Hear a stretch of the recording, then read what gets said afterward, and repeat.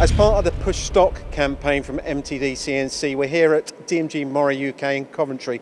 Now, Paul, the NHX 4000 with this RPS 21 pallet system, this is incredible, very versatile, isn't it? It is. I mean, the machine in itself, um, I think we always look at solving problems uh, at MTD CNC, and I think what a horizontal machine can solve is is someone that's got you know an array of vertical machining centres that might be 30, 35 percent efficient.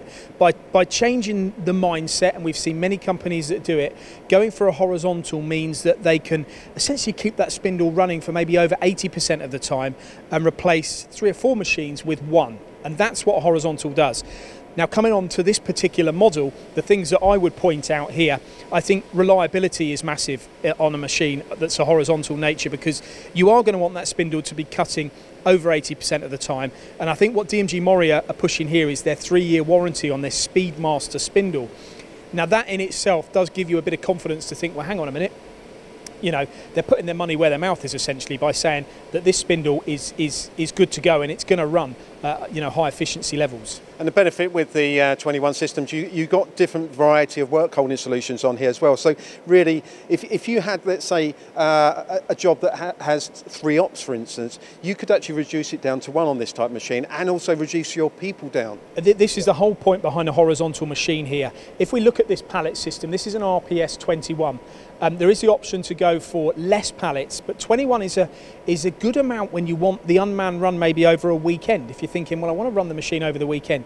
Here you'll see it's probably better illustrated what you're saying, Mark, here on this tower, um, because you can see here you've got components where you've got top face and side faces being machined, uh, and, a, and four on a uh, per side of a pallet. Now, if you take a vertical machining centre, for example, you can only do the top faces, you know, you can only do the side faces unless you incorporate a fourth axis unit. So here what we're doing is we're letting the machine do the work. And not only that, what we're also doing is loading the pallets up so that once this pallet's finished, the next pallet can load. And I'm sure with their software, this is a fully integrated solution, by the way, by DMG Mori. You're not bolting on a, uh, an automation solution that comes from a third party. You're bolting on one where this control can communicate effectively. So if there are issues, if, if, if a job's finished, what comes in next, all of that is taken care of. But the benefit with this as well, you could ha virtually have 21 different jobs on here, couldn't you? Absolutely. And I think the biggest thing in UK industry going forward now is going to be exactly that. It's going to be, right, I got 21 different parts um, am I going to spend all my day in the factory taking part one off and putting part two on? You don't want to be doing that. You want something like this that means you don't have to do that operation, that you can press the button and you can do that at night. You can do that at night. And I'm sure before we finish this, you're going to uh, illustrate as well how DMG Mori will support you um, on your purchase. Well, incredibly, Paul.